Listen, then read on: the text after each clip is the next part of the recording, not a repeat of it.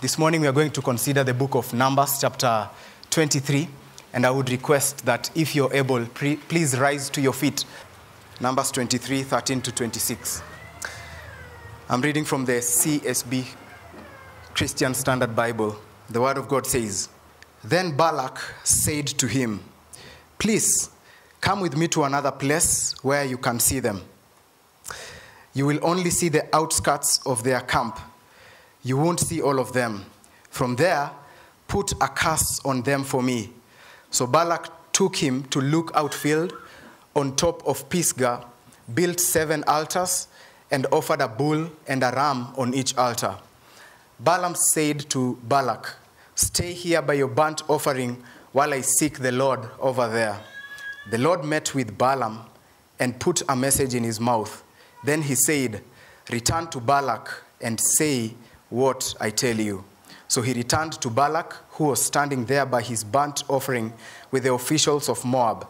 Balak asked him, What did the Lord say? Balaam proclaimed his poem Balak, get up and listen, son of Zippor. Pay attention to what I say. God is not a man that he might lie, or a son of man that he might change his mind. Does he speak and not act, or promise and not fulfill? I have indeed received a command to bless. Since he has blessed, I cannot change it. He considers no disaster for Jacob, he sees no trouble for Israel. The Lord their God is with them, and there is rejoicing over the king among them. God brought them out of Egypt. He is like the horns of a wild ox for them. There is no magic curse against Jacob, and no divination against Israel. It shall now be said about Jacob and Israel, What great things God has done. A people rise up like a lioness, they rouse themselves like a lion. They will not lie down until they devour the prey and drink the blood of the slain. Then Balak told Balaam, Don't curse them and don't bless them. But Balaam answered him, Didn't I tell you, whatever the Lord says, I must do? This is the word of the Lord. May have your seats.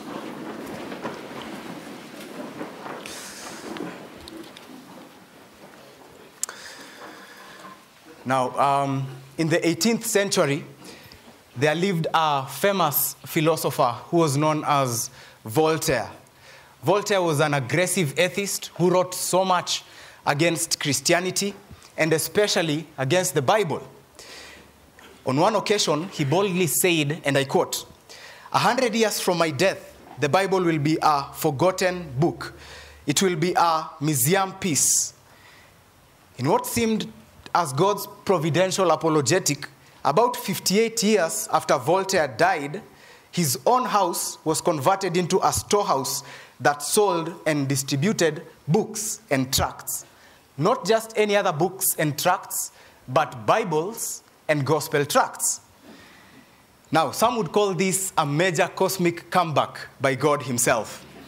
And in this remarkable twist of events, we appreciate the fact that God is able to bring a good report right from a house of evil schemes, plans, and pronouncements of men.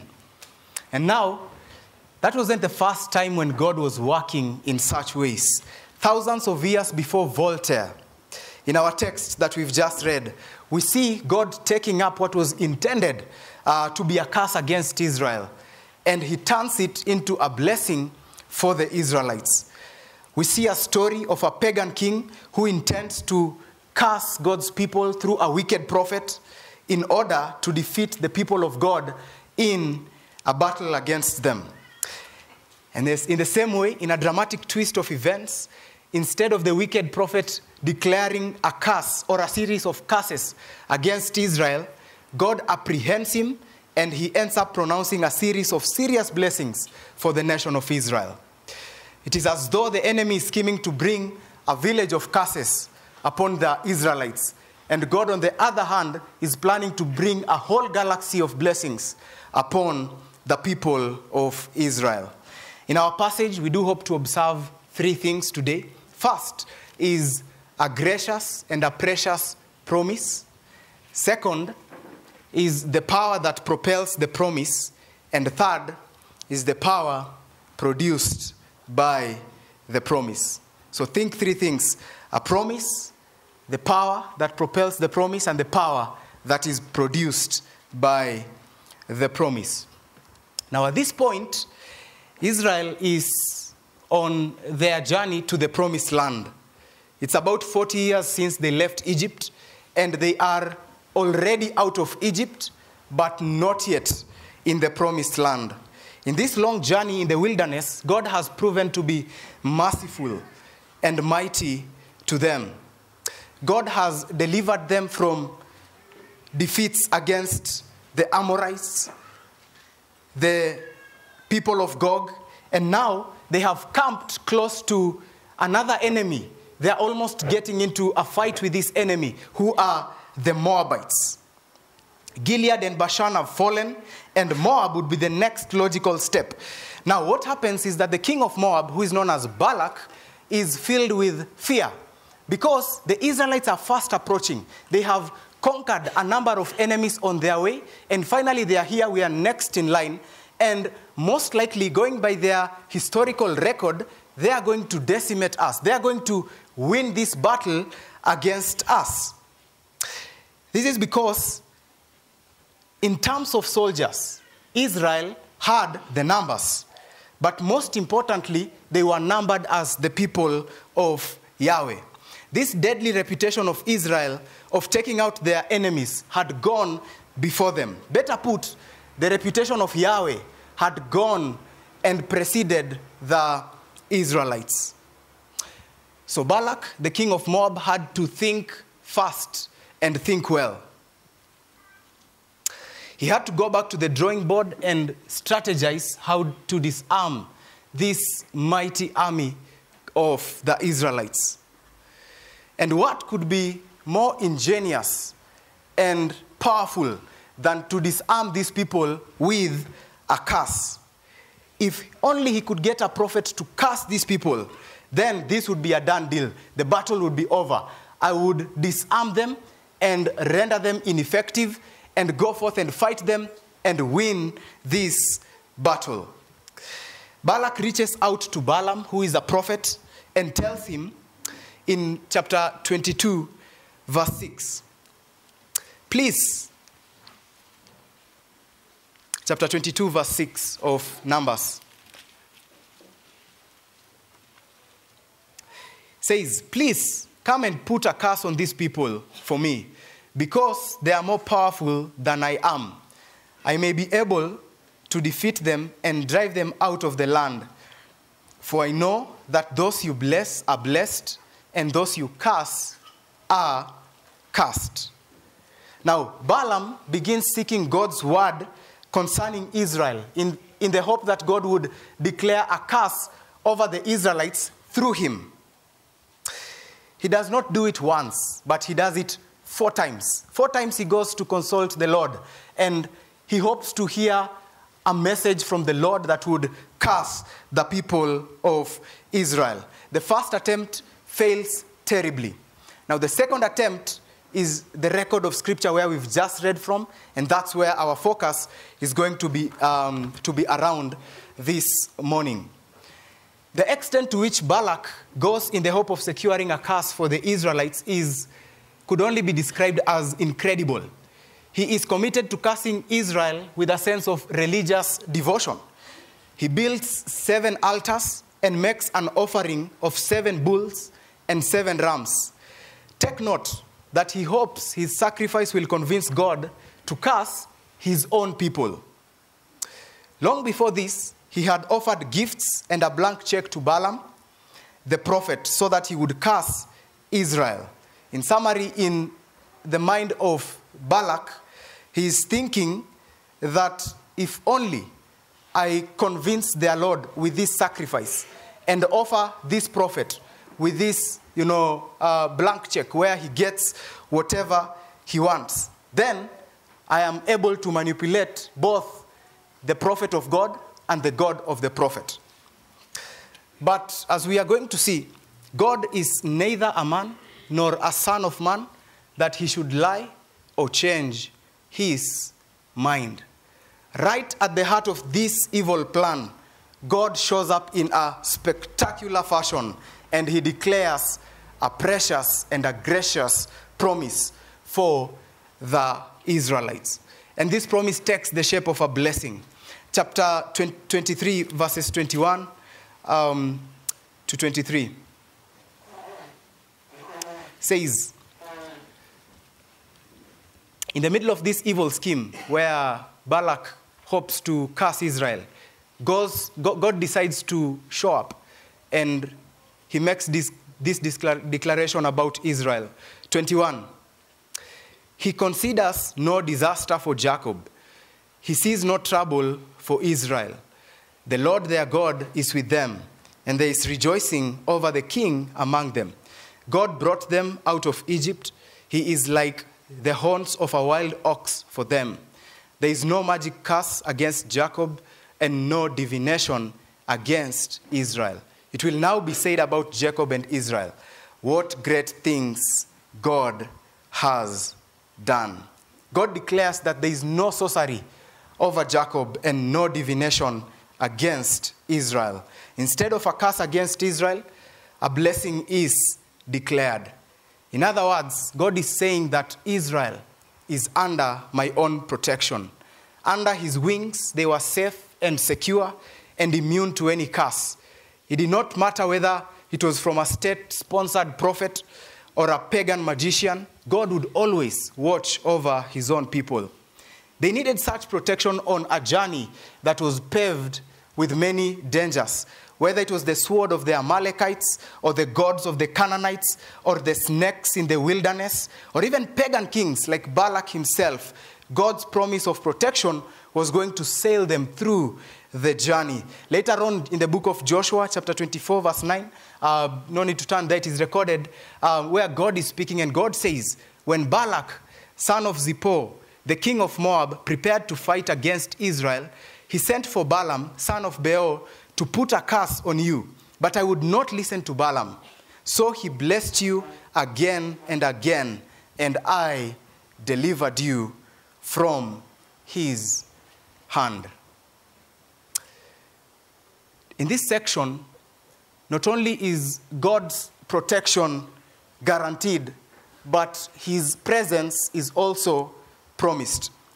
Read verse 21 with me verse 21, part B says, The Lord, their God, is with them. There's an assurance that God is not only going to protect them, but his presence is going to dwell amongst them. He shall not leave them at all. In the dangers of the wilderness, God will be there to protect his people. In the hunger and the thirst of the journey, he shall be there to provide. In the battlefield against an assortment of enemies, he shall be with them to bring victory. Of great encouragement to us today is that Yahweh is not an absentee God. He is a God who is present with his people. And his presence is active. He is there and he is actively protecting his people. He is not caught up in business trips and conferences that he forgets his covenant friends. He does not postpone or cancel audience with his children. He is with us in the pain of losing loved ones and in the joy of holding newborns. He is present to comfort us and to complete our joy. He is not absent in the anxiety of losing a job or the heaviness of raising wayward children. He is with us in the wilderness full of temptations, and He is in our midst, even right now, speaking to us, hearing us, saving sinners, sanctifying saints. He is available to receive our gratitude and hear our cry. He doesn't give us silent treatment. God does not blue tick us. He is closer to us and he is more concerned about us more than even a brother. His promises are gracious and precious.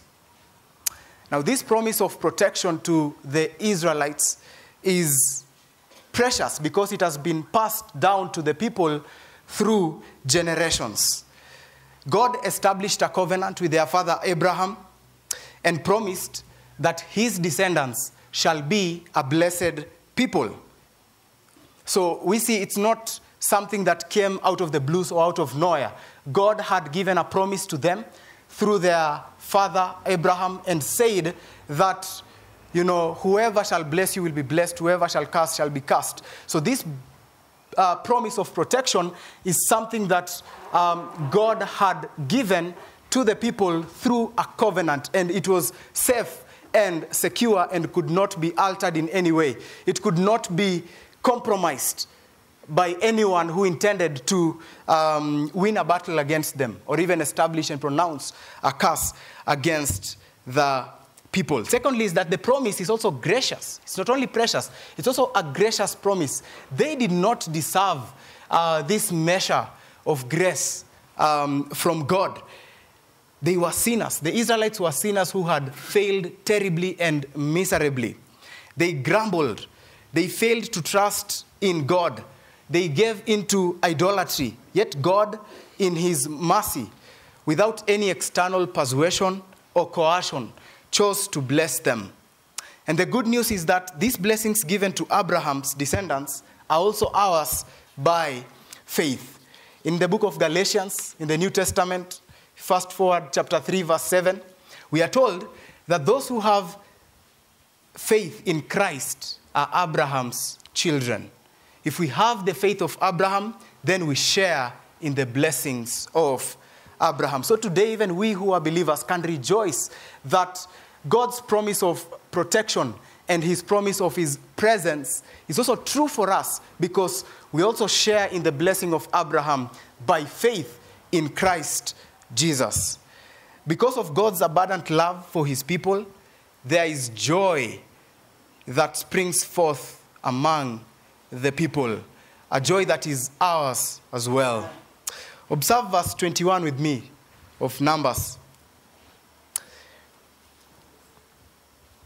Verse 21 says, He considers no disaster for Jacob, he sees no trouble for Israel.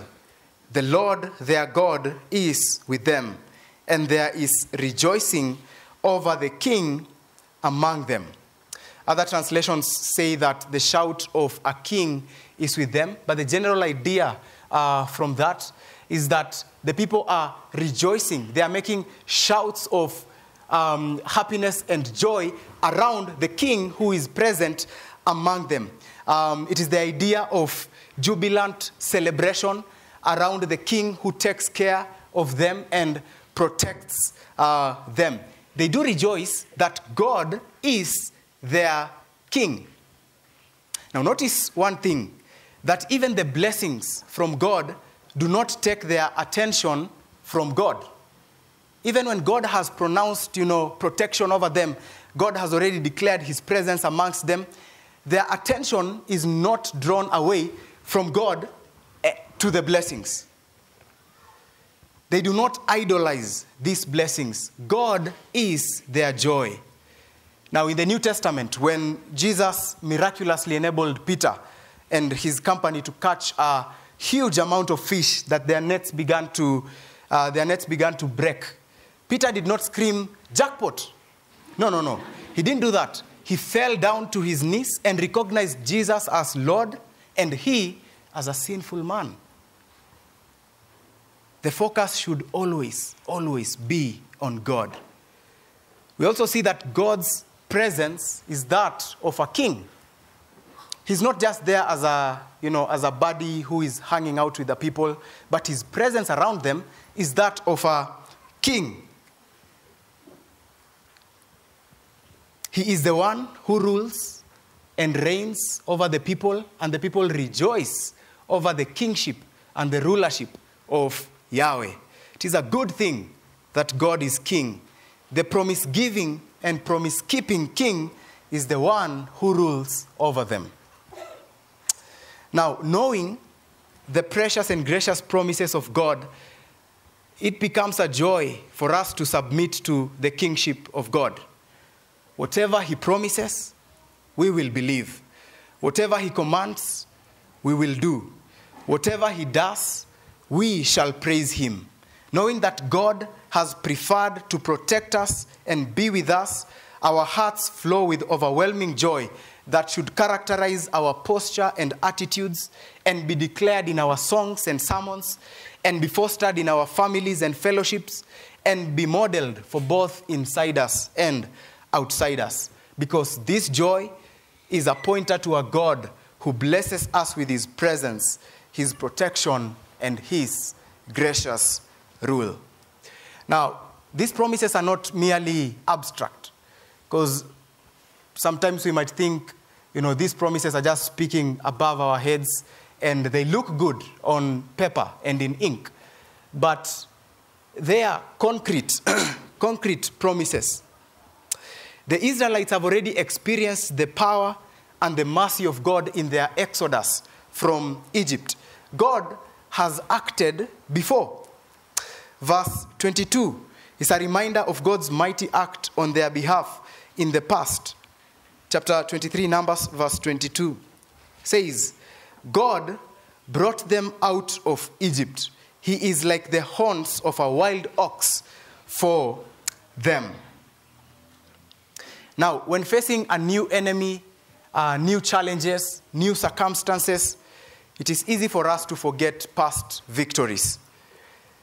Here, God is telling Balak, um, and in extension, even us who are reading his word today, God is telling them, Look at my track record. Here is my, if you please, curriculum vitae. This is my CV. This is what I have done in the past.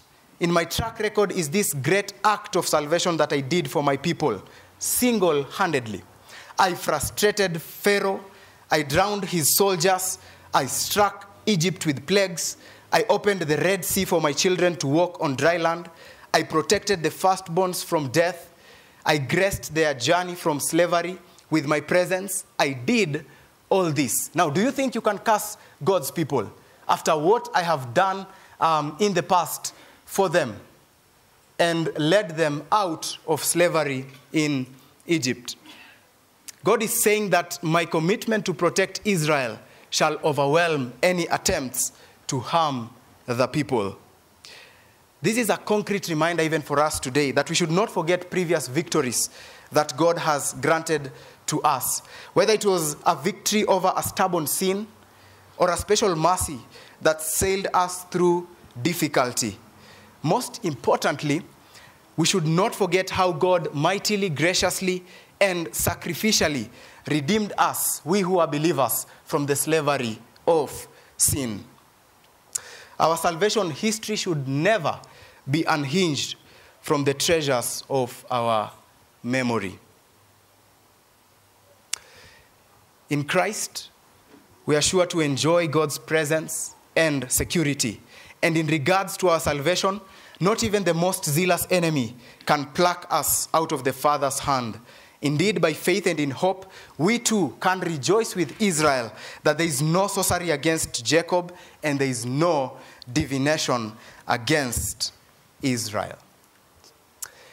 Now, how then can we be sure that these promises that God has given, these multi dimensional, multifaceted promises that are rich, um, how can we be sure that they are true and that they are dependable, that we could actually depend on God to fulfill His promises? Thankfully, God has given us an assurance in His Word. Now, let us look at the second thing, which is the power that propels the promise. Observe with me verse, verses 19 to 20.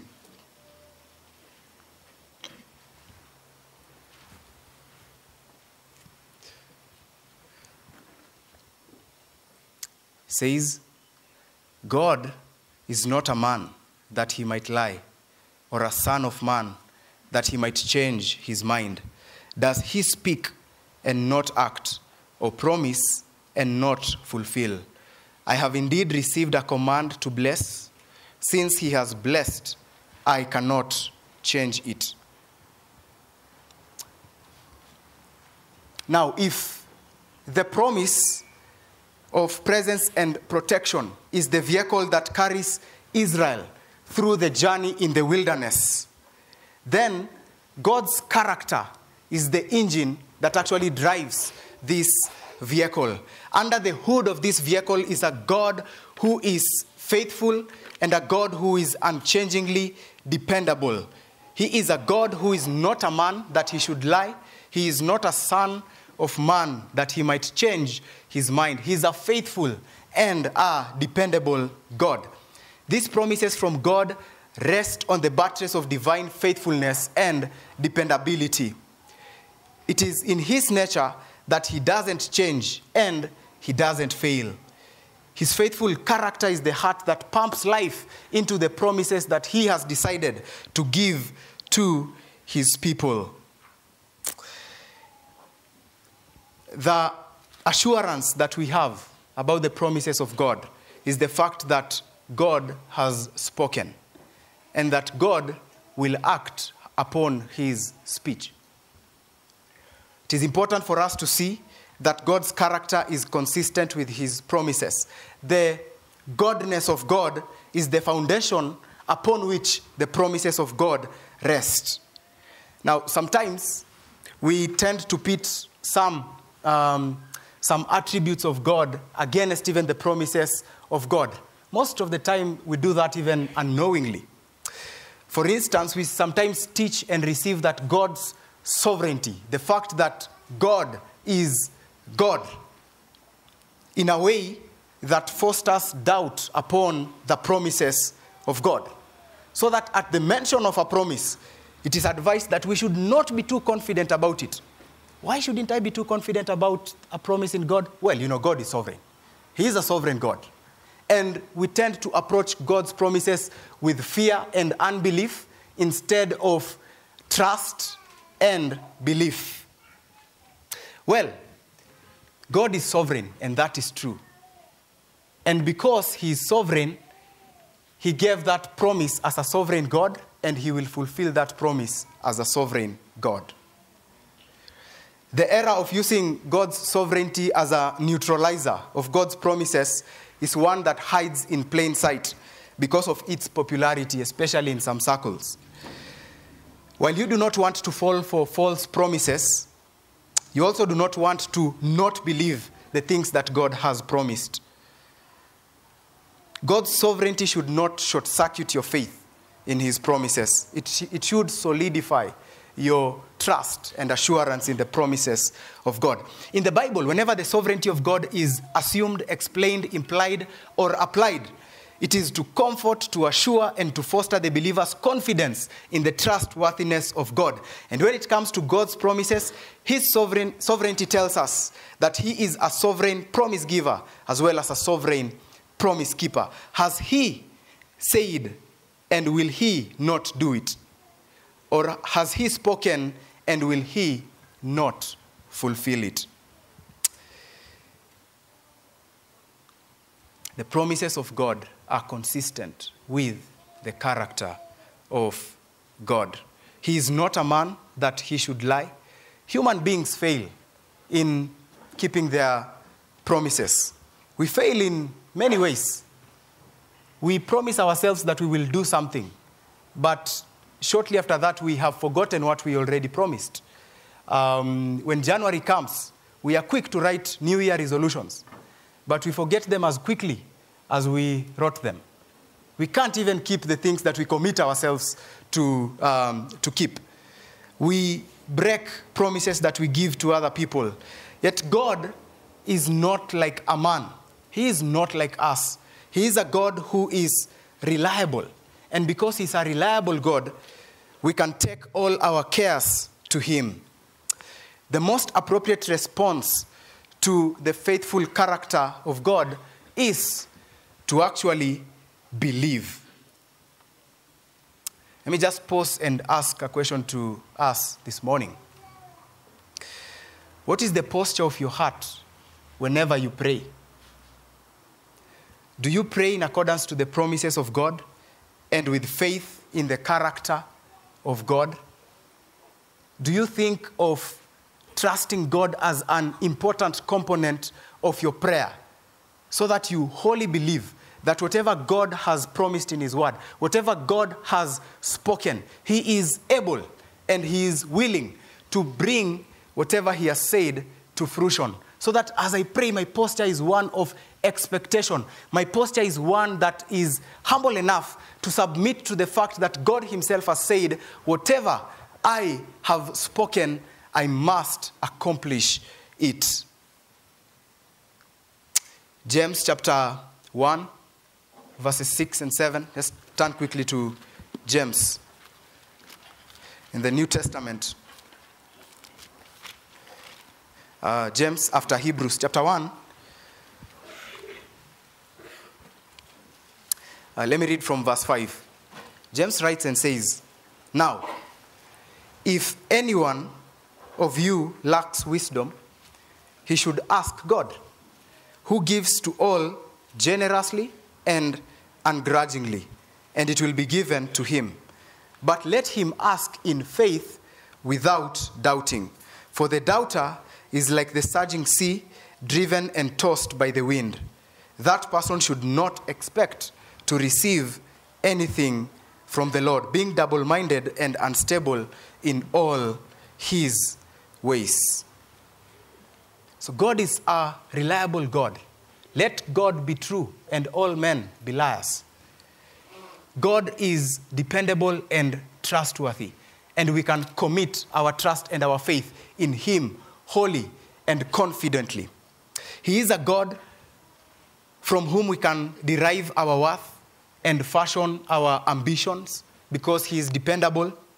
He is a God to whom we can channel our praises and confess our sins. He is the God that we can anchor our hopes and present our requests. The God that we can ask for our daily bread and receive eternal life. We can ask for the healing of our bodies and the forgiveness of our sins. We can trust for a roof over our heads and for security against the schemes of the devil, for the sustaining of our lives and for the preservation of our faith. God is well able to do these things because he delights in fulfilling his word amongst his people. It is amazing to think that God is gracious enough to fulfill his word for our good. Yet in and on and in and of ourselves, we do not deserve this level of kindness. Think, think of the original recipients of this measure of mercy, the Israelites. They had sinned in many ways, even in the face of God's mighty work among them. They continued to sin. They continued to rebel against God. They were full of unbelief, and many of them fell into idolatry. Yet, God, in His mercy, shielded them from a curse without them deserving. Everything, anything that they rightfully deserved was a curse for the sins that they committed. But God was gracious enough to shield them from this curse that they rightfully deserved. They enjoyed God's grace undeservingly. The Israelites had gone through the waters of the Red Sea miraculously. They had gone through the wilderness where God miraculously provided food for them, but they still grumbled. With a little testing, they bowed down before idols. They failed to image God in many ways. With their impatience, idolatry, and unbelief, God still prevented a curse from befalling them. God treated them to a table of blessing. He treated them way better than they deserved. He even called them my son. He looked at Israel and he considered them to be my son. Now, on the other hand, fast forward to the New Testament, we do have the true Son of God, the begotten Son of God, the true Israel, Jesus Christ. After going through the waters of baptism, he went into the wilderness to be tempted. He was hungry, yet he did not grumble in any way. He was tempted to idolatry and to test God. He did not fail in this way. He did not bulge a bit with the allure of illegitimate power and possession. Unlike Balaam, who later betrayed uh, Israel, because of wealth. Unlike the Israelites who failed to image God in their disobedience, Christ obeyed God perfectly, even to the call to give up his own life for the sake of another. Yet, with all these things, with all this perfection and obedience and, and goodness, God did not shield Christ from the curse. For our sake, Jesus Christ became a curse. Scripture says that cursed is the one who is hung on a tree. He died as a punishment for our sin so that we may enjoy the blessing of belonging in God's family. If you're here today and you're not a believer, there's good news for you today. If you look away from yourself, from your achievements and abilities, from your own failures and disappointments, from your family and friends, if you look from yourself and behold the Son of God, who became a curse for us, who suffered the pain and the death that we deserved, if you look to him in faith and in repentance, you will be accepted as a son of God alongside the Son of God. There is nothing that we bring to the table apart from our own sin. And there are many, and they are shameful, and they are serious.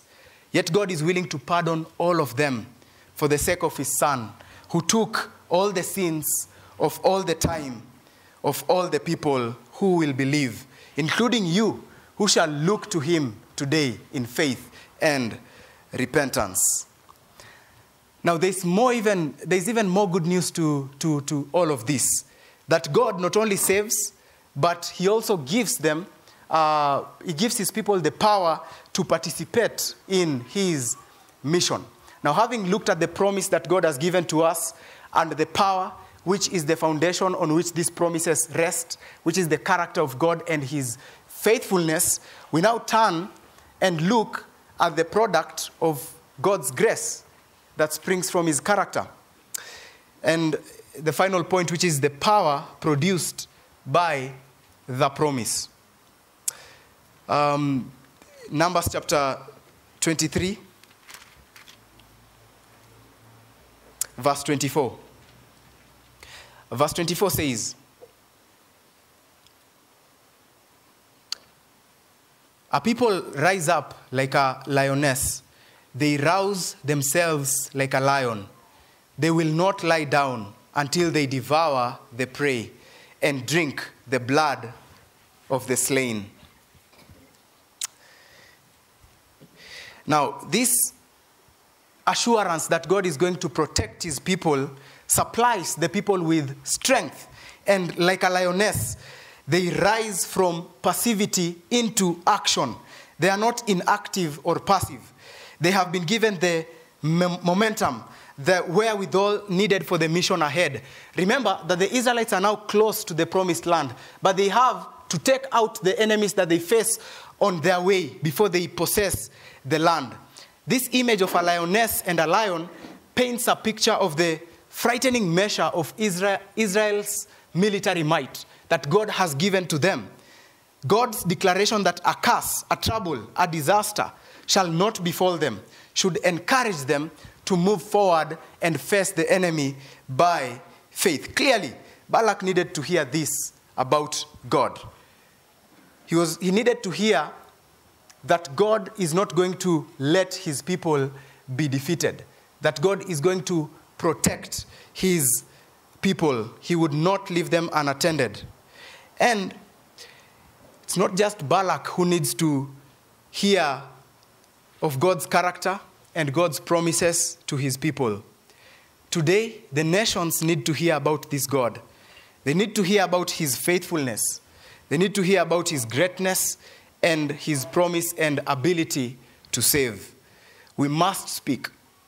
Now, imagine if, if, if Balaam um, had decided that he is going to please the king of Moab, Balak, and instead of telling him what God has said about his people, if he decided to tell them that God has declared to curse them um, and not bless them, and then he went ahead and pronounced a curse over the people of, um, of, of Israel, it would, been, it would have been a disaster for the Moabites because they would have a false sense of security and a false hope for victory. And that's exactly what we do when we conceal or compromise the message that comes from God. If we do not preach the word of God in all of its truthfulness, we give the world a false hope and a false confidence in their ability and in their own resources. So, for us today, what should we do? What is our mission here on earth? Definitely, we are not going about, you know, physically fighting our enemies and, you know, taking up swords and bombs and ammunition and going to fight them. But God has called us to a special mission. And this is the mission of preaching the gospel amongst the nations. We have to tell the truth without compromise, especially in the face of the allure of wealth and power. Now, in the 13th century, there lived a theologian and philosopher. Some of us might know him. Uh, his name was Thomas Aquinas. Um, he was in the Catholic Church. Now, at some point during his lifetime, the Pope, was the head of the Catholic Church, decided to invite him over to his palace. And therefore, Thomas Aquinas went. And when he got to the palace of uh, the, the, the Pope, yes, the Pope had a palace. Um, and, and when he went there, he found um, the Pope counting a huge amount of gold coins. And Thomas Aquinas was amazed and stunned by the opulence of the church. The pursuit of, the, of wealth had greatly weakened the church. And when Thomas Aquinas stood before the Pope, the Pope looked at him. And then he said to Thomas Aquinas, Thomas, look, the church is now very wealthy. No longer can the church say, silver and gold we do not have. now, Thomas looked at the Pope and responded to him, and I quote, he said, and neither can the church say, arise and walk. That was the response of um, Thomas Aquinas. I'm sure you're wondering what happened after that, what the Pope said after that. Now, I'm also curious. If you want to know what happened after that, we have an AH that happens every Sunday morning on church history, 9 to 10. You might want to consider attending that class. And uh, we will be sure to benefit uh, from that conversation of Thomas Aquinas and, and, and, and the Pope.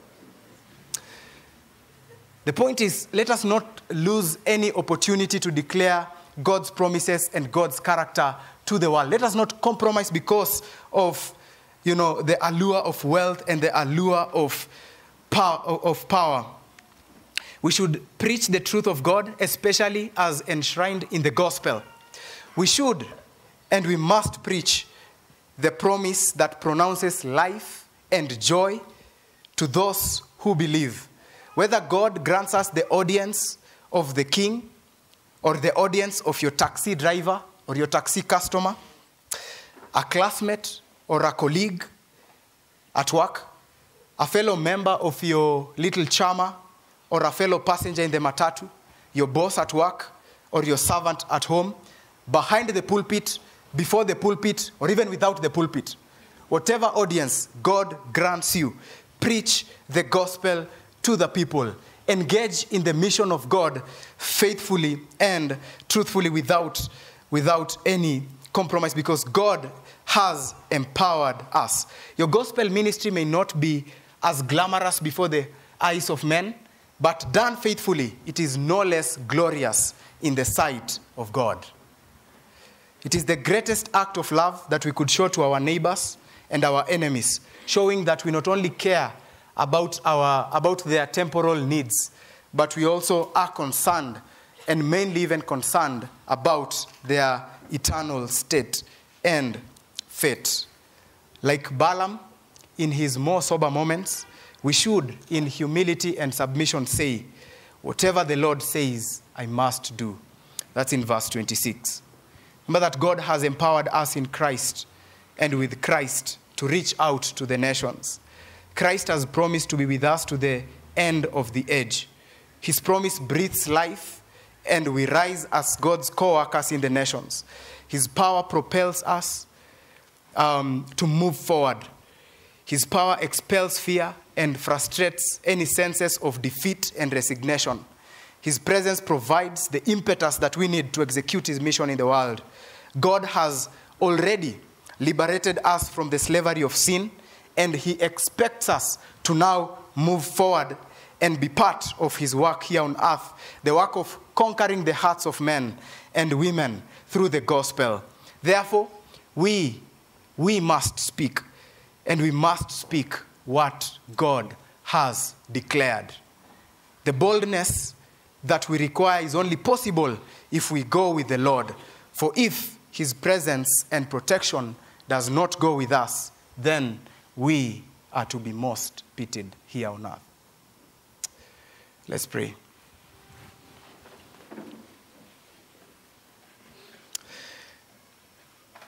Father God, we thank you for your faithfulness. We thank you for the gift that is your word. We thank you for the lessons that you have taught us today.